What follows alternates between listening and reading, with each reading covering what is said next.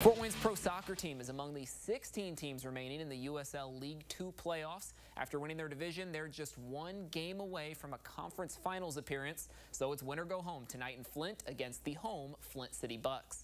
Let's head out to the action. Tied at one in the closing minutes of regulation, Fort Wayne on the drive has the open shot on goal just wide. Close to winning this one in regulation, but instead to overtime we go.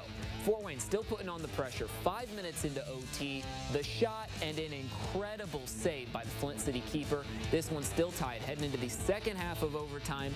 But get this, after red cards, Flint City Bucks are now playing two men down, and it doesn't matter.